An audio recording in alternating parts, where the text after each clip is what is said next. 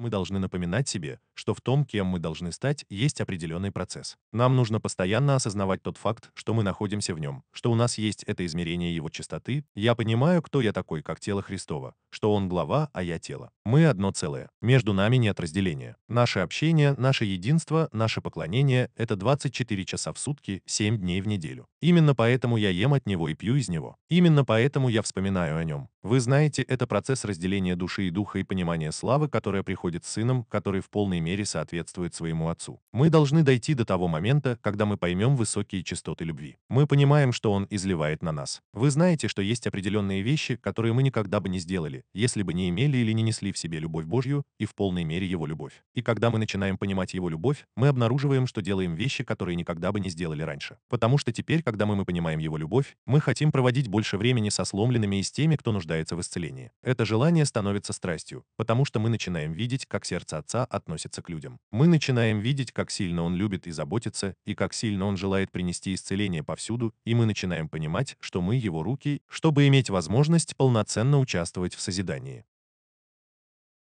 И мы это знаем, не так ли? И это, это старая поговорка. Суть в том, что сердце Бога — это Отец, Лик Бога — это Сын, и голос Бога — это Святой Дух, но руки Бога — это Церковь.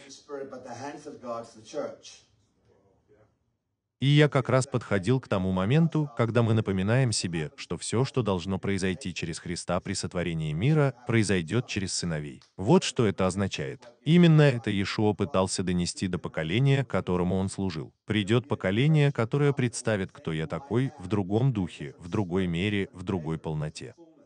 Это будет группа людей, которые будут обладать той же силой, что и я сегодня. Именно он пытается отразить людей, которые будут жить в разных измерениях. Представьте себе, что один Иисус изменил положение Земли. Люди все еще говорят об этом и все еще поклоняются Ему. А теперь представьте себе компанию людей. Тысячи миллионов христианских сыновей и дочерей ходят по земле, исцеляя, изгоняя демонов, проходя сквозь стены, левитируя, переходя от нации к нации, возвращая мироздание в нужное русло. Именно это Яхве призывает группу людей понять. Именно поэтому мы должны взглянуть на Иешуа с другой точки зрения. Именно поэтому, когда заложен фундамент, мы должны строить. Если мы просто говорим о фундаменте, мы ничего на нем не строим. Никакого роста не будет. Тогда у вас есть апостол и пророк, который является младенцем. Это проблема. Именно тогда мы сдвигаемся с той стороны завесы и выходим за ее пределы, где орден Мелхиседеков начинает формировать нас, перестраивать нас как сыновей. И мы начинаем расти на другом уровне зрелости, который отличается от того, на котором мы находимся по эту сторону завесы. На той же стороне мне нужна вера. Вера приходит через слушание, а слушание через Слово Божье. С этой стороны я общаюсь с верой как с личностью, и она учит меня вещам, о которых я никогда бы не узнал. Это совершенно другое измерение, совершенно другая сфера взаимодействия. Мы начинаем понимать ценность пребывания в нем. Когда сердце изливает поклонение в духе и истине, в чистоте и высокой чистоте любви, происходит проявление воли Яхве, выраженной из чистоты. Это то самое место, куда Он нас зовет. Проявление Его чистоты в вас развивается и формируется, когда вы находитесь в нем. Тогда у нас другая перспектива, у нас другой взгляд на вещи. Мы смотрим на творение с другой точки зрения. Мы не видим того, на что смотрят другие участники творения. У нас разное восприятие, у нас разные взгляды, у нас разное понимание, у нас разная система убеждений. Мы вышли из трехмерного мира, где есть только жизнь и ее изобилие. Здесь нет боли, недомогания и немощи, и мы живем в этом месте. И наша работа и функция Церкви и Тела Христова заключается в том, чтобы привнести это как законодателей в творение. Именно поэтому это ваше место жительства. Именно там вы живете и выходите за пределы своего существа. Но приближается час, и настал он прямо сейчас, когда истинные поклонники будут поклоняться Отцу в Духе и истине. Отец ищет таких, кто будет поклоняться Ему. Яхве — это Дух, и те, кто поклоняется Ему, должны поклоняться Ему в Духе и истине. Теперь мне это нравится, потому что мы должны отойти от нашего понимания богослужения. Потому что давайте кое-что ограничим. Все, что мы сделали, и потому что мы вкусили от древа познания добра и зла, мы поклонялись ему только в той мере, в какой он не хотел, чтобы мы это делали. Так что давайте подумаем об этом, исходя из нашей природы, из нашей плоти. Это дух и истина. Это душа и дух человека. Сейчас тело — это единственная часть меня, которая когда-либо по-настоящему поклонялась Ему. Потому что я понимал, что для меня важно поклоняться Богу и поднимать руки. Я понимал, что для поклонения Богу у меня на глазах должны быть слезы. Так что моя душа и мой дух никогда по-настоящему не были вовлечены в поклонение так, как Он того желает. Теперь, когда мы в полной мере раскрыли, кто такой дух, и мне больше не нужно поклоняться в своем естественном «я». Мне больше не нужно стоять, петь, слушать музыку и называйте это поклонением. Я могу погрузиться в дух, где я нахожусь, где я нахожусь со своим отцом, где я вижу своего отца, где я гуляю с моим отцом, где мой отец начинает показывать мне то, чем он хотел, чтобы я занимался, потому что это еще одна мера поклонения. Так что он стал заманивать меня в одно место, где я мог посидеть с ним, и он показал мне святых древности, он начинает показывать мне различные ангельские покровы, начинает раскрывать мне различные суды и то, как они функционируют, и что я должен делать, и кто я такой в судах. Как он учит меня и как он пытается развить меня, чтобы я стал мерилом авторитета и управления в творении, есть часть моей вечной цели. Но на одном дыхании я подхожу к тому моменту, когда мне нужно активизировать то, кто я есть как дух, в первую очередь, а не то, кто я есть как душа и кто я есть как тело. И когда я привожу в действие поклонение в полной мере, я активизирую два других измерения того, кто я есть, и начинаю поклоняться ему в духе. Когда я физически осознаю, что значит войти в дух, когда я напоминаю себе об этом, потому что я в полной мере осознаю, кто такой Христос. И когда я вхожу в это место, я осознаю истину своей души. Я пребываю в духе с тем, кто я есть как дух. Я нахожусь в другом измерении, и Отец вливается в меня и учит меня тому, кем я должен стать. Когда я становлюсь тем, кем я должен быть, я поклоняюсь Ему, потому что Он показывает мне красоту того, кто Он есть. Одновременно я общаюсь с семью духами, и они показывают мне мое положение и напоминают мне о том, кто я есть в Его Царстве. Одновременно Дух страха Господня приводит меня в место откровения и поклонения, потому что речь идет о возвышении и просветлении того, кто Он есть. И, конечно же, Дух Господень просветленным взором показывает мне красоту того, кем является Христос. Это означает, что это позволяет мне глубже проникнуть в Него и увидеть те слои, с которыми я должен и могу взаимодействовать. Отец сказал, когда я помещу вас в утробу вашей матери, вы сможете ощутить высокие частоты того, кто я есть, и то, что происходит в моем сердце. Высокие частоты небес. Это именно то, о чем мы должны напоминать себе. Еще до того, как вы выйдете из утробы своей матери, вы полностью осознаете, что Царство Небесное окружает вас. Потому что вы также выходите из Царства, в котором нет времени и пространства. Так что пока вы находитесь в утробе матери, вы извергаете свой свиток. Когда ребенок появляется на свет, он полностью вовлечен в ту меру, на которую он согласился в Царстве Небесном. Но его тело не функционирует, его голосовые связки не функционируют. Его нужно тренировать, а потом мы забываем об этом, потому что к тому времени, когда тебе исполняется 3-4 года, ты полностью забываешь об этом мире. Затем, когда мы рождаемся свыше, этот мир оживает. Но за это время мое воображение отключилось. Мне сказали, что я обманываю себя, если думаю, что могу говорить с ангелами, или попасть на небеса, или делать что-либо из этого. Так что к тому времени, когда я узнаю, что это правда, мне придется изменить все, во что я верил. Все, что раньше было в моем сердце. Но мы должны начать понимать, что чем больше вы осознаете ценность того, кто вы есть, и красоту присутствия Яхве в вас, тем легче вам будет привлекать окружающих вас людей. Это то, чего мы никогда не понимали. Поэтому мы испугались, потому что нам сказали, что вы должны пойти проповедовать. И поэтому мы не хотим проповедовать, потому что многие ли из вас знают, как трудно просто подойти к кому-то и передать ему какое-то послание или рассказать что-то об Иисусе. Особенно, когда вы только что родились заново. Я помню, как мы ездили в лагеря в подростковом возрасте, и они хотели, чтобы мы вышли на улицу. Но мы всегда думали, что это единственный выход. Вместо того, чтобы учить нас тому, кто я такой и что я несу, что мое присутствие открывает врата, что мое присутствие приносит дыхание Яхве в место, где может начаться исцеление. Чтобы все встало на свои места. Именно так. И если бы мы этого не понимали, то никогда бы не узнали, кто мы такие. Мы думали, что это должно происходить от имени, точно так же, как мы думали, что я должен молиться во имя Иисуса. Так что я должен говорить бла-бла-бла-бла-бла-бла-бла-бла. А затем во имя Иисуса, чтобы это действительно имело какую-то ценность. Вместо того, чтобы понять, что я вступаю в это имя, я занимаю определенную позицию, и из этой позиции я говорю. И мы начинаем понимать, что это все меняет.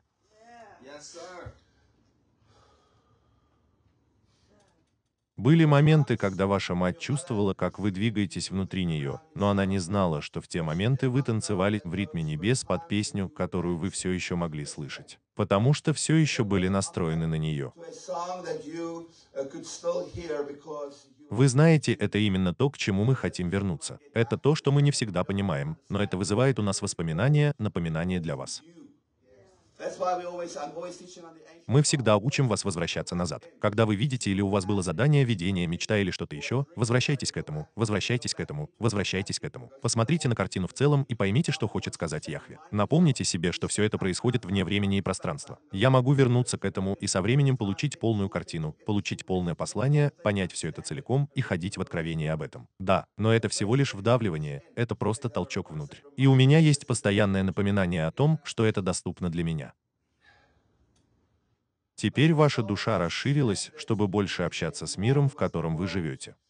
Теперь, когда мы все поняли, вы видите, что я рожден во грехе. Напомните себе, что вы не рождены с грехом. Вы рождены во грехе, а значит, вы рождены в греховном мире, который может научить вас только той сокрушенности, которая ему известна. Так что сокрушением может быть любящая, добрая, нежная семья, которая каждое воскресенье водит вас в церковь и которая дает вам только часть истины. Это может быть разрушенная семья, которая причиняет вам боль, наносит ущерб и отнимает у вас что-то. Мы не всегда можем выбирать, но идея в том, что путешествие заключается в том, чтобы добраться до определенного места, где все, что принадлежит мне, снова станет моим. Так что у меня есть полная память о том, на что я согласился, чтобы я мог снова идти в полной силе того, что было мне дано, и что вместе со мной началось сотворение мира. Именно в этом и заключается суть этой игры. Именно этим мы сейчас и заняты. Именно поэтому вы разделяете душу и дух, чтобы вы могли вернуть себя как духовное существо обратно в эту сферу с когнитивным пониманием того, кем вы должны стать при сотворении мира.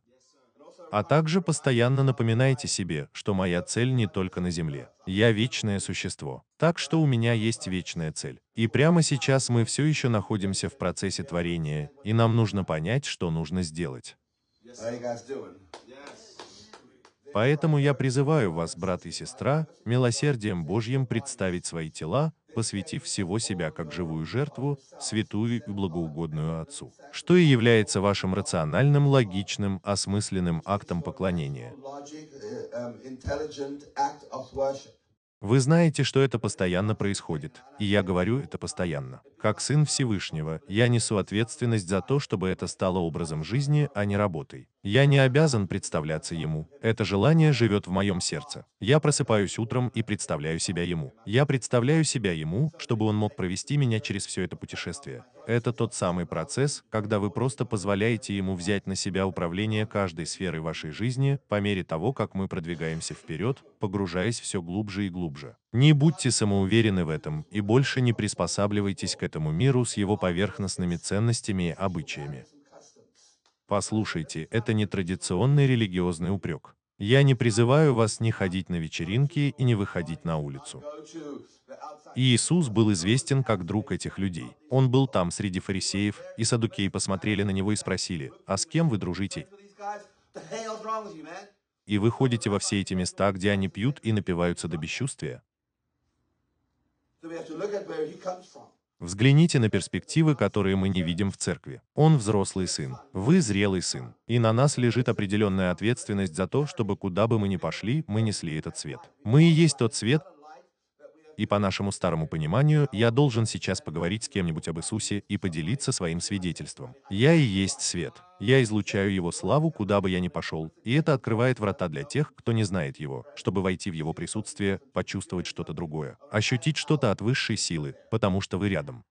Это понимание того, что значит быть в определенном положении, в определенном месте. Я никогда не говорил, что лидеры предыдущего поколения лгали нам, что они лживы и ужасны, и что мы должны бежать от них. Мы должны любить их и заботиться о них. Они прекрасны, они удивительны, они могущественны. Именно они направили нас на этот путь. Они не пытались лгать, они не пытались вести в заблуждение. Они только учили и проповедовали то, во что сами верили, что правильно, а что неправильно. Они давали нам только то, что понимали сами. Так что они намеренно не пытались что-то у нас отнять. Они просто пытались сделать все, что в их силах. И мы должны это видеть. Вот почему мы уважаем и любим их. И в то же время это заставило меня отправиться в путешествие, которое помогло мне и мне самому подняться к более высокому, глубокому и широкому месту в нем. Начать понимать, что возможно придерживаться ценностей, которые он заложил в моем сердце, прогрессивных, переходящих в созидание, чтобы иметь правильное отношение. Понимать мои ценности и то, кем он призвал меня быть, чтобы быть совершенным и в полной мере соответствовать тому, кем он меня называет, а не тому, что говорят другие. Знаете, напомните себе, что то, что они едят,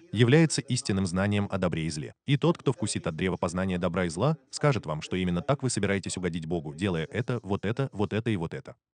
Но я даже не понимаю, в чем дело. Вы не можете угодить Богу своими делами. Вы знаете, если вы хотите узнать Его поближе, многие ли из вас понимают, что вам нужно поговорить с Ним? Именно так. Вы не можете говорить о Нем с кем-то еще. Вы должны поговорить с Ним сами, напрямую. Вы знаете, я всегда говорю, ну да, на самом деле никому не нужно учить вас молиться. Потому что слово «молиться» означает просто говорить. Я могу поговорить с Дэвидом и Линдой. Разговаривать с людьми легко, потому что это то, чем мы занимаемся. Почему нам так трудно говорить с Богом? Именно так. Я помню, что у меня был духовный сын в Южной Африке. Он был довольно талантлив. И одна из вещей, которую я сказал ему однажды, мне нужно, чтобы ты перестал молиться. Я говорю ему как своему духовному сыну, что тебе нужно прекратить это, потому что как только ты начинаешь молиться, из твоих уст вылетают просто религиозные слова. То же самое относится и ко всему, что он делает, цитируя Священное Писание. И я сказал ему, что мне нужно, чтобы вы провели с ним некоторое время. Я ни о чем его не прошу. Я ни о чем его не умоляю. Я просто хочу быть рядом с ним, потому что я видел его, я испытал его на себе. Видите ли, он отец. И мы должны напоминать себе об этом. Сейчас не у всех есть любящие добрые отцы. Но на самом деле у вас есть отец, который только любит, который только хочет продвигать вас вперед, только хочет, чтобы вы росли и возмужали. И он хочет дать вам все, чего пожелает ваше сердце.